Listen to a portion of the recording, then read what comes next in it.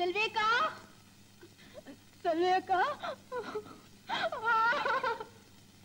மேனகா ஏன் மாடற?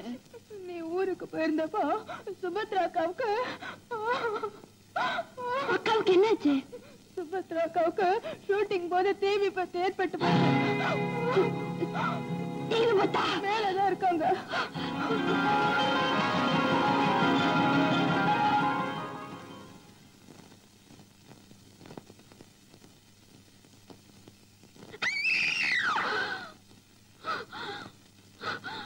வா செல்வி.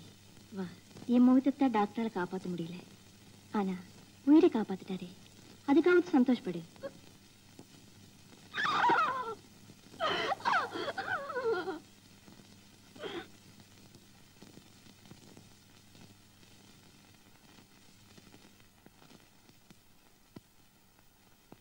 பாருப்பா. என்கிட்ட வேற புடவைலாம் கிடையாது.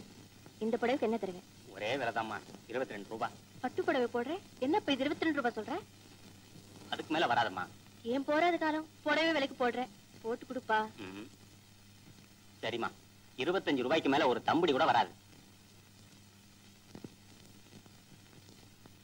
என்ன சொல்றீங்க? மேல அஞ்சு ரூபாய் போட்டு கொடுப்பா. வராதும்மா. என்னக்கா இது? பட்டு புடவை ஏன் விலைக்கு போடுற? உனக்கு இருக்கிறதே ஒண்ணே ஒண்ணு. கரியு போன மூஞ்சுக்கு காஞ்சிபுரம் பட்டதுக்கு இப்பெல்லாம் யாருமே என்ன வேலை கூப்பிடுது இல்லம்மா வீட்டுல ஒலை குதிக்க வேண்டாமா?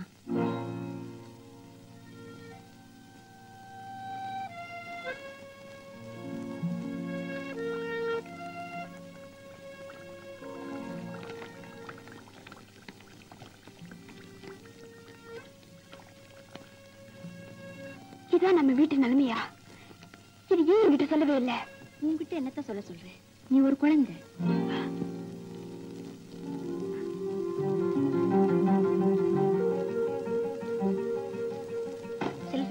என்ன இதெல்லாம்? இந்த புஸ்தகத்தை எல்லாம் எடை கொடுப்பா. படிக்கிற புஸ்தகத்தை எல்லாம் விலக்கு போட்டா என்ன அர்த்தம்? இனிமே நான் குழந்தை இல்லைன்னு அர்த்தம். அப்படின்னா உலக கொதிக்கணும்னா நான் உத்தியோகத்துக்கு போக ஆரம்பிக்கணும்.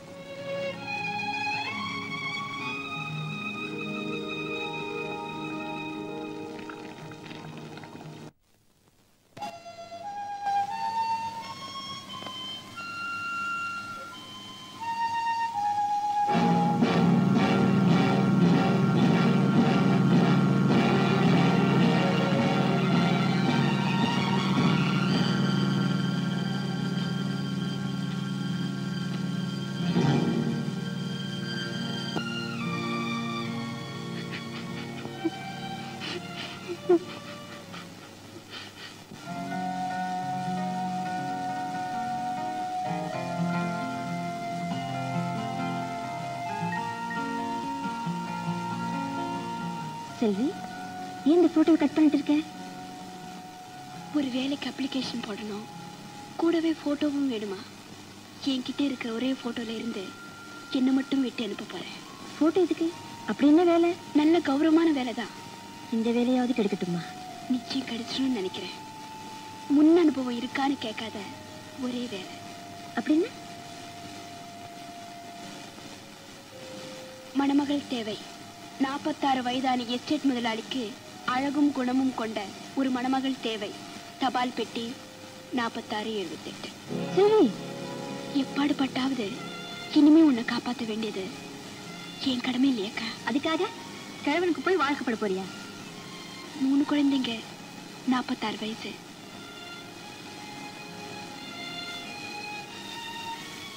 எனக்கு பரவாயில்லக்கா அசட்டுத்தனமா பேசிக்காதே. அக்கா கஷ்டங்களை எதிர்த்து நிற்க பெண்கள் கத்துக்கணும் இல்லைன்னா வளைஞ்சு கொடுத்து சமாளிக்க தெரிஞ்சுக்கணும். நீ தானே சொல்ற?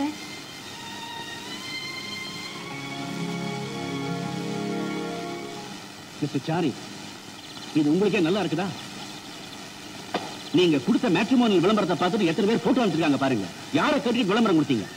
உன்னை கேட்டா வேண்டாம் நானே தான் கொடுத்தேன். ஏண்டா இப்போ ஏன் கல்யாணம் வேண்டாங்கிற? உனக்கு என்ன வயசு இருக்கும் நாற்பத்தாறு இருக்குமா? சரி சரி நாற்பத்தேழு இந்த வயசுல நாலு கல்யாணம் பண்ணிக்கலாம். எனக்கு இப்பதான் ஒண்ணு புரியுது. நாற்பத்தேழு வயசானாலும் பரவாயில்ல. நல்ல செகுத்தியான விடோயர் கிடைச்சா கல்யாணம் பண்ணிக்க எத்தனை குமரிகள் ரெடியா இருக்கா பாத்தியா? அதுதான் இந்தியன் எக்கனாமிக் சரி இப்போ உன்னை விட்டு தள்ளு. குழந்தை நினைச்சு பாத்தியா? அவளை கவனிச்சுக்க யார் இருக்கா? பணத்தை கொடுத்தா ஆயிரம் ஆயிரம் வந்துட்டு போறான் ஆயா எல்லாம் அம்மா ஆயிட முடியுமாடா? அபிஷ்டு.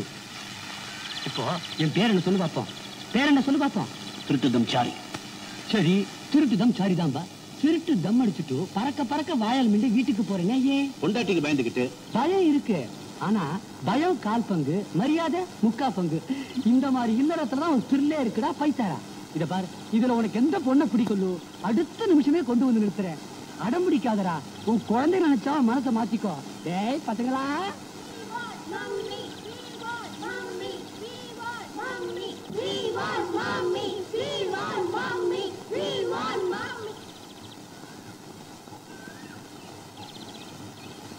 கேட்டியோ இல்லையோ?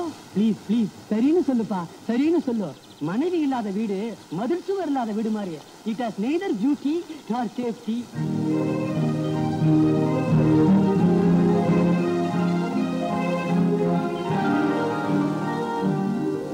கல்யாணம் பண்ணிக்க போற பெரியவருக்கு நீங்க என்ன வேணும்?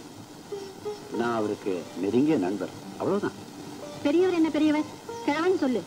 ஆனா நல்லவரம்மா ஒரு சின்ன பொண்ணு இப்படிப்பட்ட பொருத்தமில்லாத கல்யாணத்துக்கு ஏன் சம்மதிக்கணும்னு காரணத்தை நேர்ல தெரிஞ்சுக்கிட்டு வரத்தான் நினைச்சிருக்கேன். வறுமைதான் காரணம். ரொம்ப சிம்பிள். நீ படிச்ச பொண்ணா இருக்க. உனக்கு ஏதாவது உத்தியோகம் கொடுக்க சொல்லி ஏற்பாடு பண்றேன். நீங்களாவது புத்தி சொல்லுங்க சார். இந்த கிழட்டு மாப்பிள்ளை வேண்டான்னு. சார் இந்த கல்யாணம் எனக்கு சந்தோஷத்தை கொடுக்குதோ இல்லையோ? ஒரு கௌரவத்தை கொடுக்கும். எதிர்கால பாதுகாப்பு கொடுக்கும். நீங்க ஏதாவது உதவி செய்யறதா இருந்தா என்னோடவே எங்க அக்கா தங்கிருக்க அனுமதி வாங்கி கொடுங்க போதும். எதுவா இருந்தாலும் சரி என் நண்பரை சந்திச்ச அப்புறம் நீ ஒரு முடிவுக்கு வா. இதுல விலாசமும் வழிச்செலவுக்கு பணமும் இருக்கு. உங்க சௌகரியம் போல புறப்பட்டு வாங்க. ரெண்டு பேரும் தான்.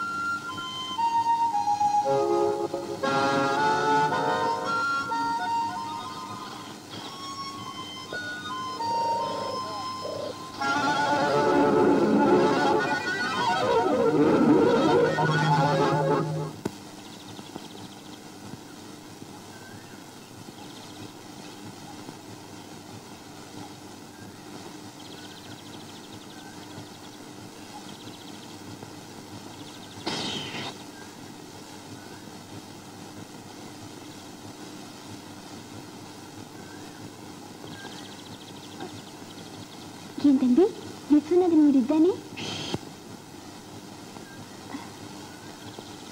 ஏம்மா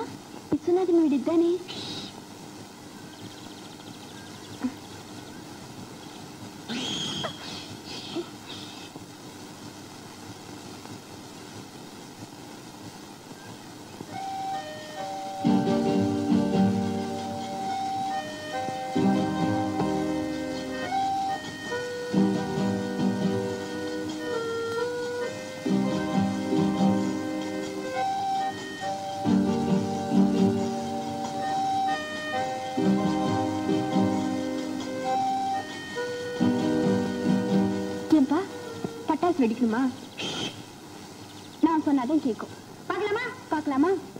பார்க்கலாமா? பார்க்கலாமா? பார்க்கலாம் எங்க வெடிக்க சொல்லுங்க பார்க்கலாம்.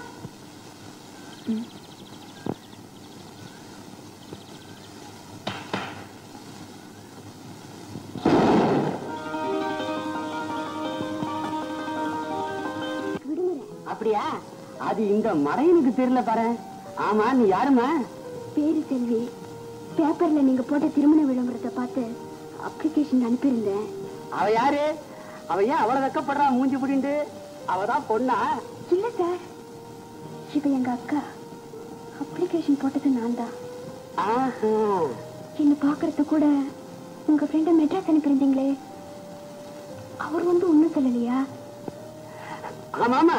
அனுப்பியிருந்தேனே. வந்து என்ன சொன்னா? உங்களை நேரா பார்த்துட்டு அப்புறமா முடிவு சொல்ல அவசரம் இல்ல.